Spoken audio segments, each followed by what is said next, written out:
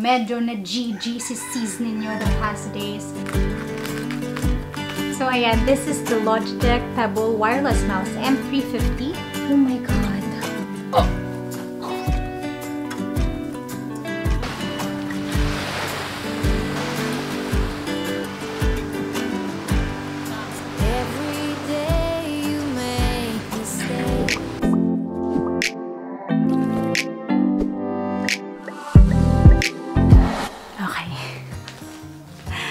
Hi mga season orbs! Kamusta kayo dyan? I hope that you're all doing fine. Ako, medyo busy the past week. Sobrang dami kong ginawa. Sobrang dami kong shoot.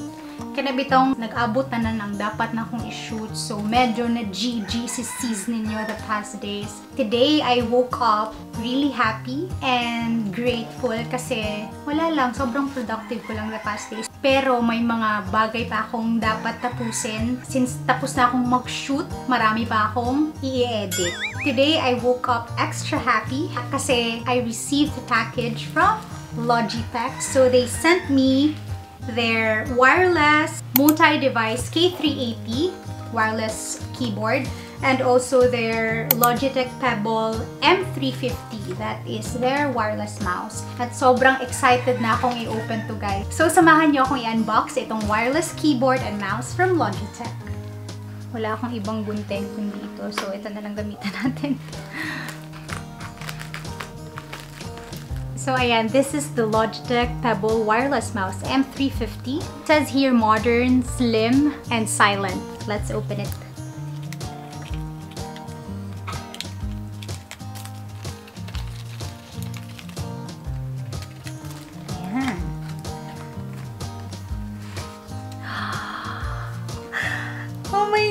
Kakulay siya ng bed ko, guys. Tignan nyo, old rose. Pink siya, pero para siyang pastel pink na old rose. Ganon.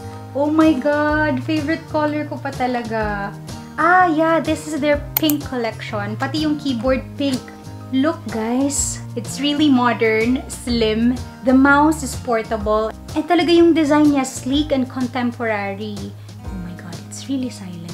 Halos wala kang? I think this will really look great in any desk setup. I mean, look at that, guys. And it also has an 18-month battery life. So, means you don't have to worry about losing power for 18 months. Diba? And literally, I can bring this wherever I go. Pwede ako mag-edit kahit saan. And ultra quiet scrolling din. Slim modern mouse designed to really fit any lifestyle. Especially mine. Oh my god. Akong ako to. I love this Logitech. Thank you. So now let's open the keyboard.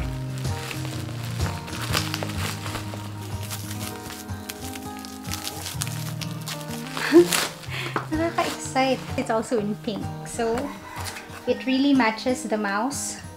Again, this is their pink collection. Pero, meron din silang white and gray or black, I guess, na kulay. So, you can go visit their official website. Ilalagay ko yung link sa description. This is Logitech's multi-device K380. It says here, portable typing on computers, phones, and tablets. So again, pwedeng pwede to sa mga Mac OS, your iPads, MacBooks, tabs, your phones, as long as may Bluetooth connection siya. So, I mean, tignan Wala na, mahal ko na siya guys. Open na natin. Ang nipis niya, guys. It's lightweight and compact. So, again, I can also bring this anywhere. I can edit literally anywhere. Take a closer look, sis. Ayan. Ayan. And its battery life lasts for 2 years. Thank you, Logitech.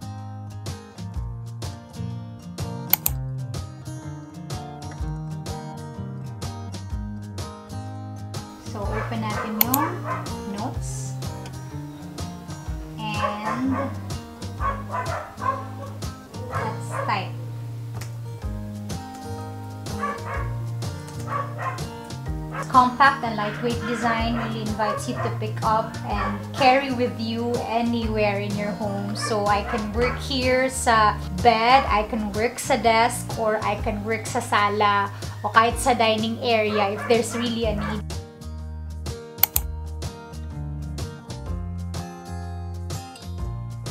So for my third device, I'm gonna be using my phone.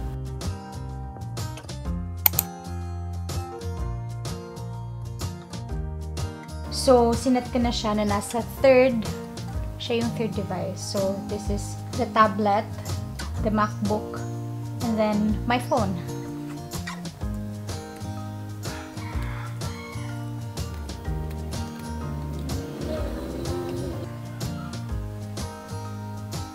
Tapos yung Logitech Pebble, it can track easily on any surface.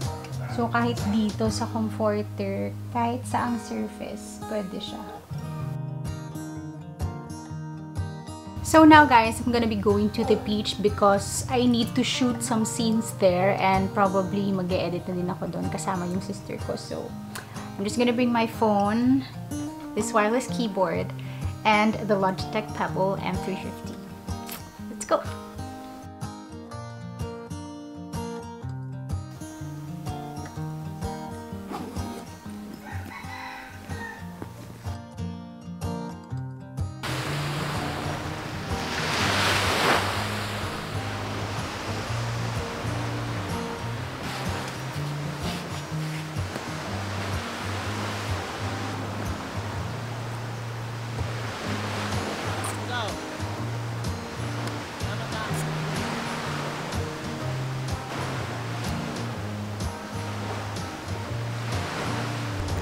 Visit Logitech Lazada flagship store through the Logi Rewards app and add these items to your cart and get discounts when you check out on July 15 during the Lazada mid-year sale.